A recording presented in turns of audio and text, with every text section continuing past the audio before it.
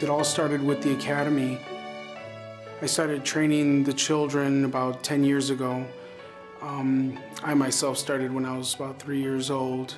I've noticed that the children were getting really good and advanced, so I decided to start a non-for-profit organization, a performing group, in which now I can take the children that I've been training to start doing performances um, throughout, throughout the community.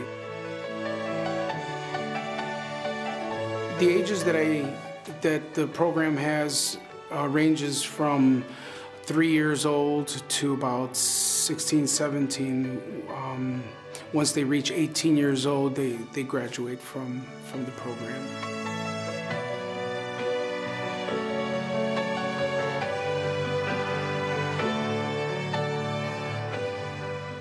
I brought the idea to the parents that of the children that I was training and let them know that we can start doing performances and concerts and start touring and and uh, when we first did our tour to, to Mexico and came out on national television, mind you, this was our first, our very first tour, everyone was so surprised and so amazed at what their children can do, of course, my students.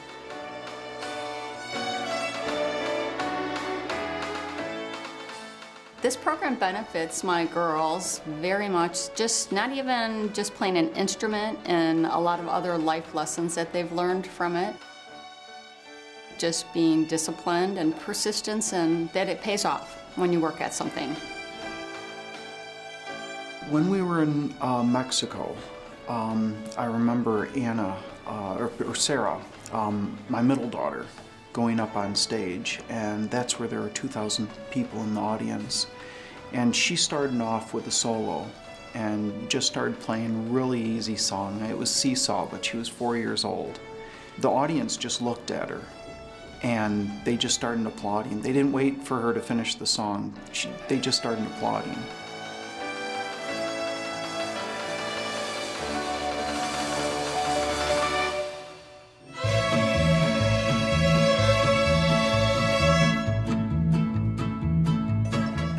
I've taken the group to Mexico, Disney World, Universal Studios in Florida. We performed in Europe, which was our, our longest journey, uh, Bulgaria. And um, we've had the opportunity to perform at the Capitol Building and the Lincoln Museum, which was a, a total honor for us.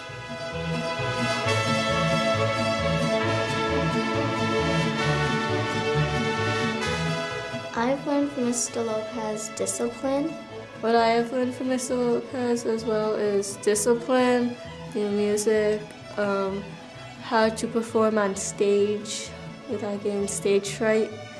I learned that it's good to be confident in yourself because it's just so fun to learn different techniques.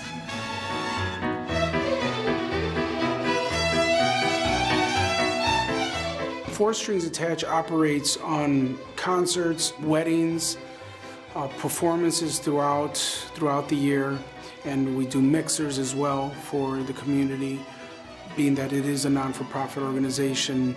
So we're, constantly looking for sponsorships and, and donations to help us grow.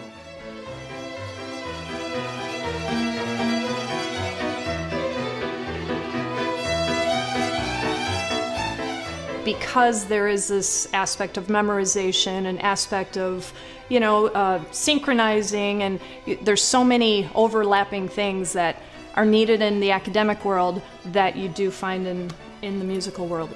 I like the violin because this is like one of the hardest instruments, and then if I'm going to play a new instrument, then it's going to be easier. I have learned from Mr. Lopez that like you could be your own self and that's okay. Like you can be someone totally different and people will accept you for it. Other than just teaching you how to play the violin and how to perform to people, um, you also have the opportunity to make really good friends and it's like being part of a huge family. And I'm amazed at, at where we're at right now. Of course, I, I still have plans and uh, a vision for the future for these kids. So right now what you see is, is, is just the beginning.